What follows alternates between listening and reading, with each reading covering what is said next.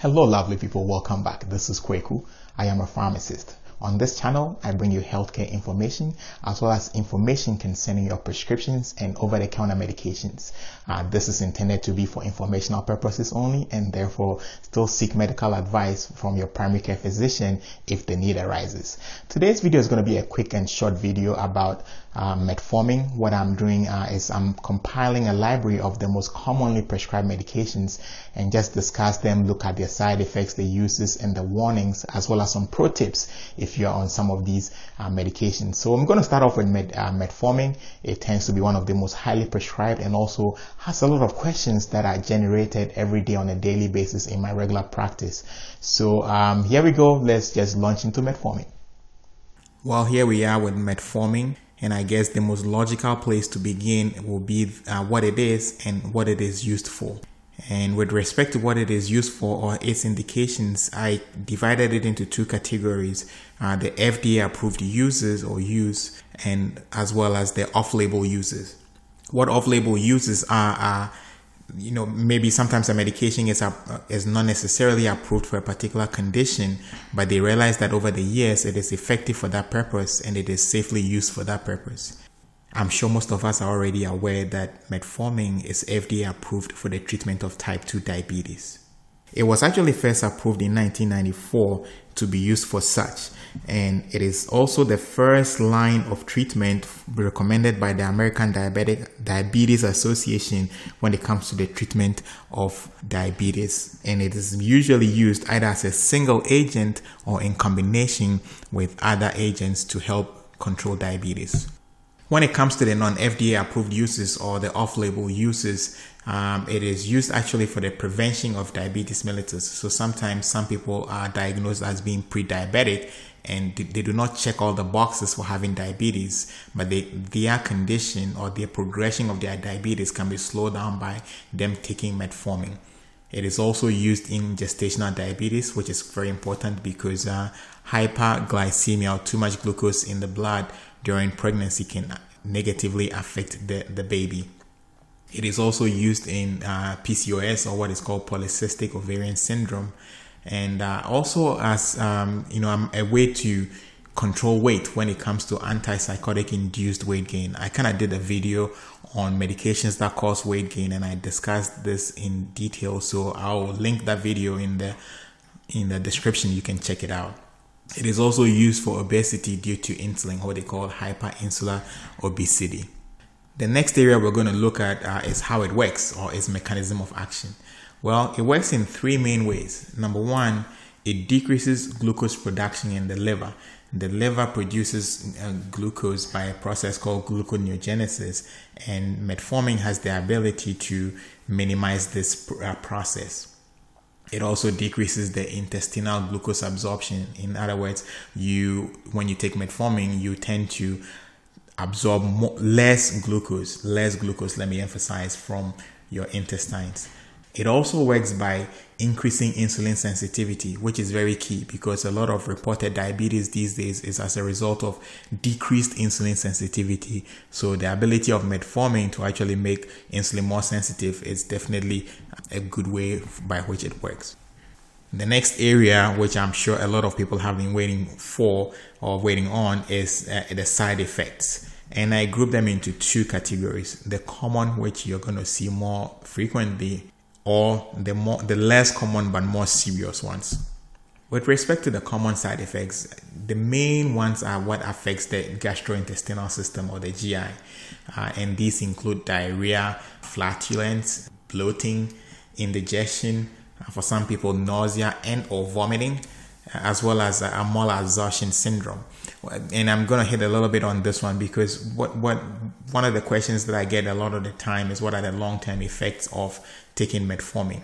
And we realize that malabsorption or your inability to absorb most of the the nutrients that you get in food or some of the important nutrients in food. And I'm going to mention particularly B12 and I'll kind of hit on it later as we go on in the slide.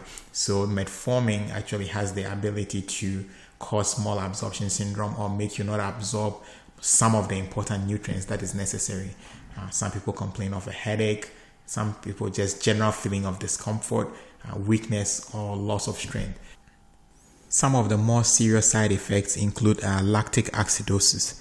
Lactic acidosis is a situation where your body either overproduces or is not able to get rid of lactic acid fast enough from the body, which causes a buildup.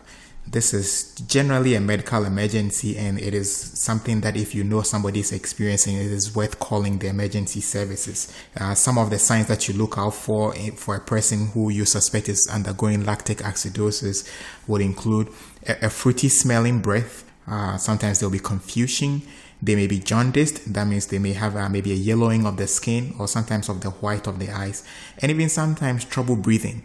And like I said, this is generally a medical emergency and should be treated as such. The other serious side effect of metformin, which is worth taking note of, is uh, hepatitis or inflammation of the liver, or in some cases, there will be abnormal liver function test. I must say here that these two conditions are very rare. However, if they do occur, they require the medical attention that they deserve. On the whole, metformin is generally considered safe and most people take it without any issues. It doesn't have that effect of causing hypoglycemia or making your blood glucose go too low as is common with some of the other diabetic medications. The next area we're going to look at is the precautions or the warnings or what is sometimes referred to as contraindications. Metformin is contraindicated in patients with severe renal dysfunction, uh, which is typically sometimes defined as a glomerular filtration rate or GFR less than 30 milliliters per minute. So this GFR measures how quickly the kidney is able to clear things from your, your body or your system. The higher the number, the more quickly the kidney gets rid of things. In renal dysfunction, this number is reduced significantly for, and sometimes even going below 30. Since metformin is excreted by the kidney, if you have a low GFR, that means that there's a chance of you accumulating higher than usual levels of metformin in your body, which may lead to unwanted effects. There is also a warning to stop using metformin in cases of nausea, vomiting, and dehydration. This has pretty much got to do with the increase in the risk of developing lactic acidosis that we talked about earlier. Also, there is a warning to avoid use in patients with evidence of hepatic or liver disease. This has also got to do with increasing the risks of developing lactic acidosis. Another warning that is worth mentioning is that metformin should be discontinued before using any iodinated contrast agents. Uh, so you're going to have a, a, test done which involves iodine. It is recommended that metformin be discontinued before uh, this test is done. Uh, after the test, you are more than welcome to continue using your metformin as prescribed. Next, we're going to look at some best practices while you take metformin. Like most other medications, it needs to be stored in a closed container uh, in a, at room temperature, away from heat, moisture, and direct sunlight to avoid damage to the medication. Also, the extended release tablet is recommended for people with the GI side effects that we discussed earlier. The extended release tablets tends to be a little bit easier on the tummy relative to the immediate release, and therefore that one is recommended for such people that have problems with um, the GI side effects. It is worth noting that the extended release tablets should be swallowed whole and should not be crushed, chewed, or anything like that. It is also best to take this medication with food or with some food in the stomach just to mitigate some of the GI side effects. Also, consider taking a B12 supplement. This may be something that you will have to discuss with your provider to see if it is appropriate for you. This is to mitigate the lower than normal levels of B12 that is very common with people that are taking metformin. So there you have it, folks. I believe I've been able to give you a very high level overview of the medication metformin. Uh, let me know in the comment section if there is anything in particular that I missed that you want me to talk about or if there are any specific questions. Also, let me know what you want me to work on next, what medication you're highly interested in. And also, please consider liking this video, sharing with somebody who may find it useful, as well as ultimately subscribing to support this channel. Thank you so much.